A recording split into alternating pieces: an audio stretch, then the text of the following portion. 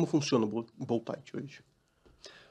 A função dos dois é a mesma: tensionar parafuso, trabalhar 100% com tensão. Posso abrir um parênteses? Sim. Uma das diferenças, né? apesar de ser a mesma É. coisa, só que o, o Superbolt é um produto, né? Então ele vai estar lá. E o Boltite é uma ferramenta, na verdade, Exato. de aplicação É da tensão. É, então são essas. É, é, a função é. a mesma, tensionar. Porém, cada um deles tem, é, é como o GDF falou, substitui a porca, tem, ele é utilizado como ferramenta, porém tem os as porcas são hidráulicas também porca que vão ter a mesma, exatamente a mesma função do Superbolt, porém acionadas hidraulicamente. E, e remotamente, né? De uma... É, longe sim, da... longe, perto, do jeito que, dependendo da distância da mangueira, você consegue trabalhar. É, e o Boltart, ele trabalha com grandes pressões também. Ele vai trabalhar sobre o, o Superbolt, Não, no aperto. O, Não, não. o Superbolt é um, é, é um produto que substitui a porca. Utilizado em alguns, é, dependendo da aplicação tal, ut- utiliza o Superbolt. Não, eu vou trabalhar submerso. Num- uma plataforma de petróleo, trabalhar a 150 metros de profundidade, tem lá uma flange que eu preciso tensionar. É, o mergulhador, a hora que ele está lá na- nessa profundidade, ele tem uma visão quase nula. Uhum. Então, o que ele faz? Ele tá lá com. Aí tem o modelo Subsea, né? Que é um material preparado para suportar aí, a é, água salgada e tal. Ele vai ter lá 10 tensionadores.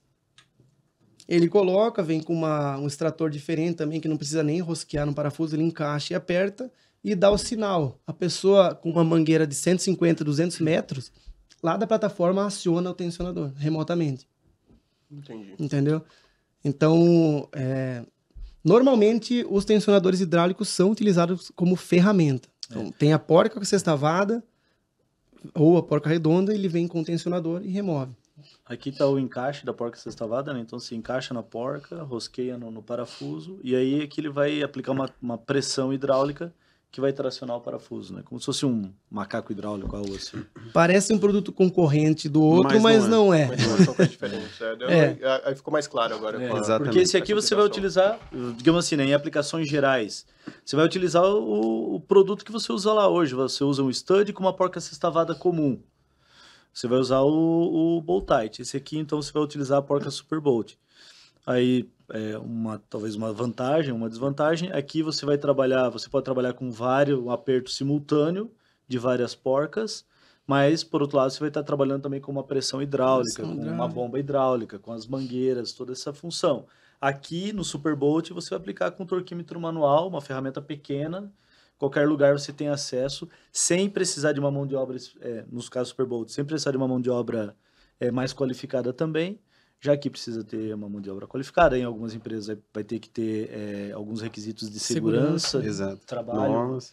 E é, dá para ver a ter uma ideia de tamanho, né? Aqui a gente está falando de um tensionador para parafuso de 3 quartos, 19 milímetros. E aqui eu tô com uma M30. É, né? faz Então, quando a gente fala de espaço restrito, qual que você usaria? Super Bowl. Superbolt. Mas você não tem condições, no fundo do mar, de, de visualizar. e Sim, sim. É, exatamente. Você tem que usar um outro É. produto.